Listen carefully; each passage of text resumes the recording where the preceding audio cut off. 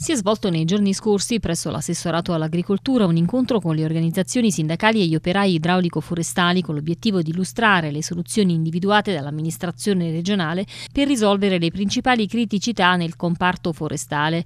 Nelle scorse ore ha annunciato Franco Alfieri, consigliere del presidente De Luca per le politiche agricole forestali, caccia e pesca, sono stati approvati decreti per il trasferimento di 21 milioni alle comunità montane e alle amministrazioni provinciali a titolo di secondo acconto per gli interventi di forestazione e bonifica montana realizzati nel 2018 nell'ambito del programma strategico della Regione.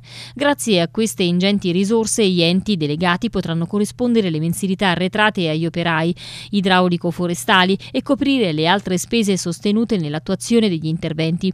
Alfieri ha poi confermato l'impegno della Regione circa la copertura finanziaria degli interventi di forestazione e bonifica montana per le annualità 2019 e 2020 che ammontano a 160 milioni milioni di euro.